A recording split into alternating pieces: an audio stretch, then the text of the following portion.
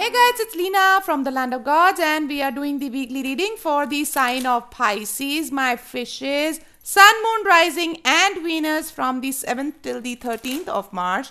Guys, please remember these are general readings. Time's fluid and energies can be reversed. So please take what resonates and leave the rest for others to receive. If you're here for the first time, welcome aboard. Welcome to my channel. And if you've been kind enough to come back, thank you so very much. Welcome back. It means a lot, guys. Thank you, thank you, thank you.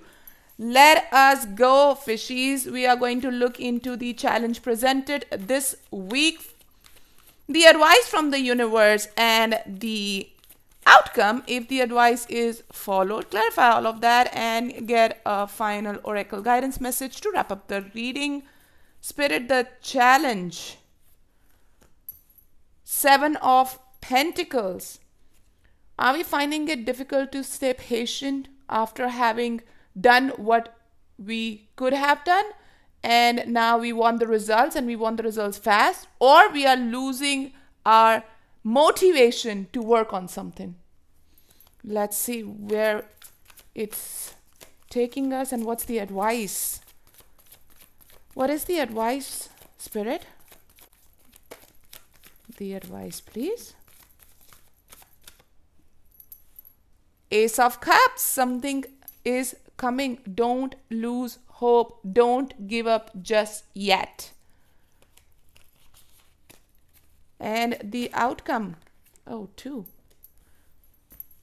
The High Priestess and the Seven of Cups. All right. Overall, Ten of Swords. Yeah, you are feeling like really burdened. You're like, oh, I don't know. This is like exhaustion this is not stabbing in the back here. This is exhaustion that I feel. You are exhausted. You're like, how long? How far? How much? Just don't give up just yet, please, because there's something that's coming out of this hard work and time and effort that you've put in. You have. You're just losing patience. Don't lose patience, loves. I know you're tired. I know you're exhausted. I know you are just trying to gather the last of your energies. Trust me. Sometimes it's the last key that opens the door, right?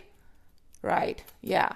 Let us clarify. Seven of Pentacles, Spirit. Why do we have Seven of Pentacles in the challenge? Okay. There's more. There is more to come. Okay yeah.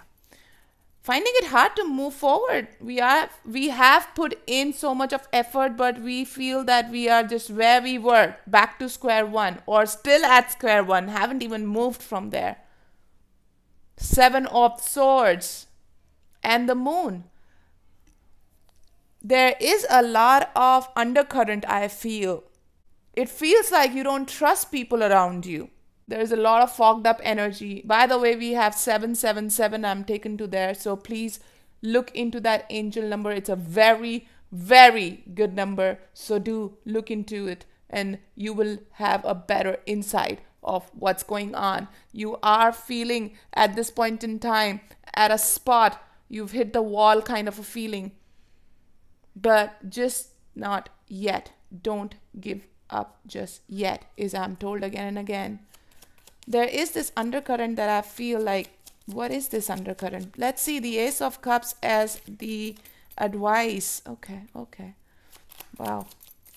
The cards want to speak to you. Six of Cups, there's someone related to you who has been uh, like a karmic partner or someone who has been in your life for quite a long time.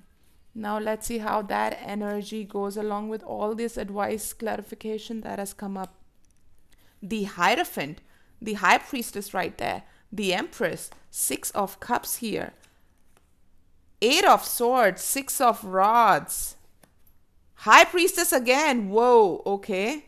And what do we have here? Three of Pentacles. All right. Lots of energy here. Lots of energy. First of all, I hear there is no point one upping anybody. Okay. The Six of Rods, There is no reason to prove a point, just to prove a point, one upping someone. Know that the universe understands how you are feeling, but know that this is all in your head. Eight of Swords with that Six of Rods, they know you feel a little defeated and stuck. Yes, but guess what you need to do? Look at this.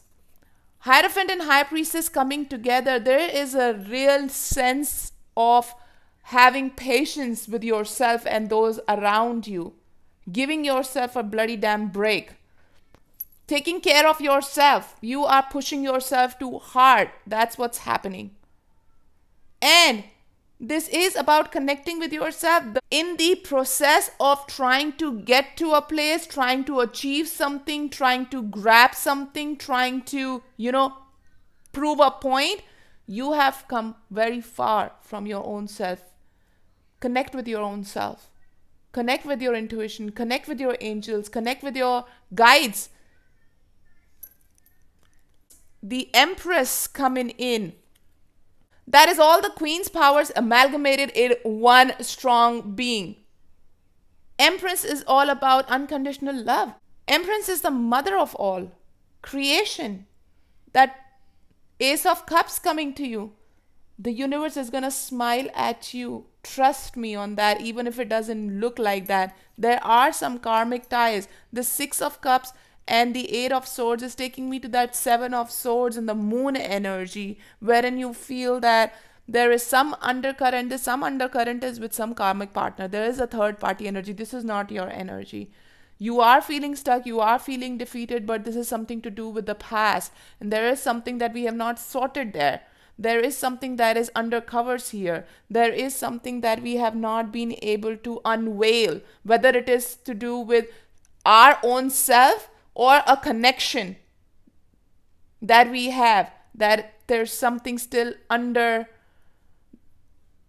the rugs you know? There's something that is not coming out on the table so that you can discuss. And it could very well be your own inner confusions your insecurities and that is the reason why you are advised connect with your own self. There is a very very high need at this point in time to connect with yourself. Take a help. Take help of High Priestess and Empress coming together with the Hierophant that is connecting to those that you look up to. There's always someone in life with whom we connect at a level, you know, at a mentorship level, someone who's like a mentor, a teacher, someone who's elderly or not even elderly, someone who's a friend but a very mature kind of a friend whom you look up to, and every time you have an issue, you go and speak to him or her. Your confidant, your soul tribe. Connect with them. There is a very strong feeling of mother or mother like person in your life to whom you should approach because that ace of cups is coming to you. I know at this point in time you do feel stuck. There is something that needs to be sorted, and for that, this is what is needed. Where are we heading? High Priestess, look, patience would be needed for this. You cannot rush into things. The more you are trying to rush into things, the more you are feeling stuck.